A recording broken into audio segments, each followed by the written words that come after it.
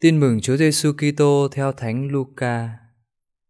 Khi ấy, Đức Giêsu nói với các môn đệ rằng: Không thể không có những cớ làm cho người ta vấp ngã, nhưng khốn cho kẻ làm cớ cho người ta vấp ngã. Thà buộc cối đá lớn vào cổ nó và xô xuống biển, còn lợi cho nó hơn là để nó làm cớ cho một trong những kẻ bé nhỏ này vấp ngã anh em hãy đề phòng. Nếu người anh em của anh xúc phạm đến anh, thì hãy khiển trách nó.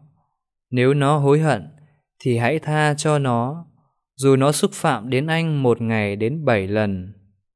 Rồi bảy lần trở lại nói với anh, tôi hối hận, thì anh cũng phải tha cho nó. Các tông đồ thưa với chúa giêsu rằng, thưa thầy, xin thêm lòng tin cho chúng con. Chúa đáp, nếu anh em có lòng tin lớn bằng hạt cải, thì dù anh em có bảo cây dâu này, hãy bật rễ lên, xuống dưới biển kia mà mọc, nó cũng sẽ vâng lời anh em. Đó là lời Chúa. Lạy Chúa Kitô, ngợi khen Chúa. Suy niệm bài tin mừng chúng ta vừa nghe Chúa Giêsu dạy chúng ta những bài học về đời sống chung trong gia đình, trong giáo xứ hay bất kỳ một cộng đoàn nào. Trong cộng đoàn ấy, chúng ta không được làm gương xấu hay làm cớ cho người khác phạm tội bằng bất cứ hình thức nào. Vì gương xấu sẽ ảnh hưởng tiêu cực rất lớn đối với đời sống của những người sống bên cạnh chúng ta chính vì thế mà ta phải hết sức xa lánh và gạt bỏ hương xấu ra khỏi đời sống của mỗi người chúng ta. Đừng để bao giờ gây hương xấu cho người khác.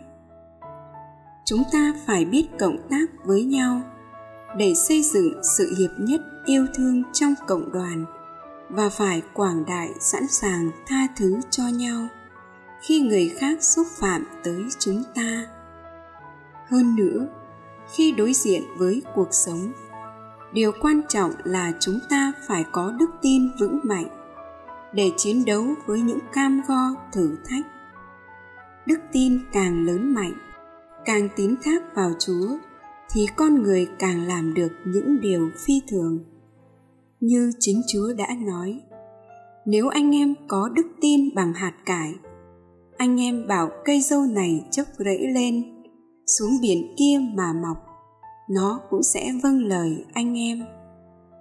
Dưới ánh sáng lời chúa hôm nay, xin chúa cho mỗi người chúng ta hãy ý thức. Đừng bao giờ gây gương mù, gương xấu cho người khác. Và luôn biết quảng đại tha thứ cho người khác khi họ xúc phạm tới chúng ta. Để ta cũng được đón nhận sự tha thứ từ thiên chúa. Đồng thời ta xin Chúa ban thêm lòng tin cho chúng ta, để ta luôn biết vững tin vào Chúa khi gặp khó khăn thử thách trong cuộc sống. Amen.